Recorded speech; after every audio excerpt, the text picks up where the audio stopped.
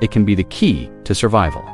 Chapter 4 The Judge in the Shadows in the World of the Umbrellabird. The male's spectacular display is not a random act of vanity. It is a high-stakes performance designed to impress the most critical and unforgiving judge in the entire forest, the female. She is the ultimate arbiter, and her choice determines the genetic future of the species. As the males gather in their leks and begin their booming chorus, the female umbrellabird is watching from the shadows of the canopy. She is not fooled by a male's impressive crest or his inflated wattle alone. She is listening for a specific message encoded in the booming call itself a message that tells her about the male's health, his age, and his overall genetic fitness. A male with a deep, resonant call and a large, symmetrical wattle is a male that has proven his ability to survive and thrive in the harsh environment of the Amazon. He has proven his strength, his resilience, and his genetic superiority. She will carefully observe the males as they perform, watching for any sign of weakness or imperfection. The males with the strongest calls and the most vigorous displays will be the ones that win her favor.